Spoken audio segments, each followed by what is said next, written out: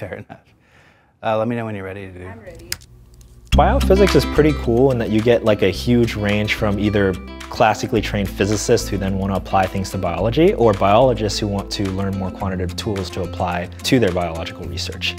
If you start from uh, sort of a baseline of, of the real physical, mathematical, you know, foundation, then you can kind of do anything. That was sort of my idea. Okay.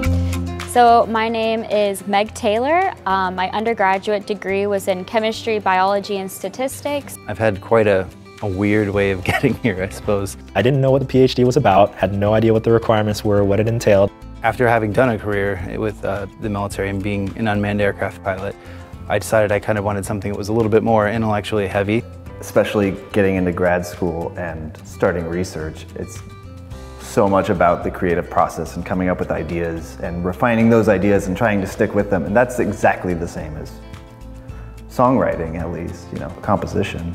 Engineering curriculum in India mostly is kind of an umbrella curriculum that teaches you everything. So that's how my mind kept on like drawing the links and physics has been always very stimulating, intellectually stimulating to me. So I always wanted to apply physics to biology. So I had some background in math, I had heavy background in physics because of engineering, and the biology all kind of met in one place and biophysics made sense.